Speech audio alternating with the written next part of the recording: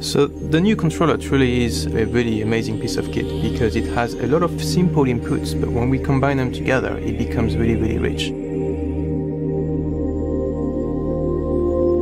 We talked with a lot of developers on what they really want and what they think is missing in the DualShock 3 that could be a great feature. One of PlayStation's greatest assets is all the groups Media Molecule, Naughty Dog, Santa Monica Studios, Sucker Punch, the list goes on and on and we could actually get their input in terms of what this controller should be and what we should add to make something that's that's truly evolutionary.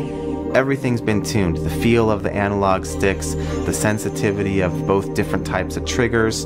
And in addition to that, there have been all these features added to it without compromising the basic feel of the DualShock. So for example, the first thing that you notice is the light bar at the front. And this light bar has several functions. We can track the position of this controller with multiple folks in the room.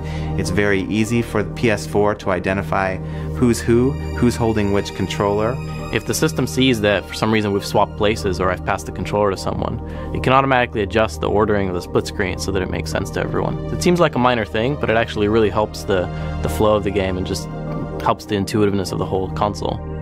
Most important, arguably, is this touchpad on the top of the controller. Touchpad is multi-touch, and you're able to have touch interactions that are very comfortable to play. So you can use your thumb, or you could be flicking, flicking things out. And then you add the fact that there's a speaker on the controller. That adds a lot of dynamic sound when you are in a shooter, for example, and you've got uh, bullets whizzing by you. Certain events will take place inside the TV and the sound will come out of the speaker, but more personal or intimate events will come out from the controller.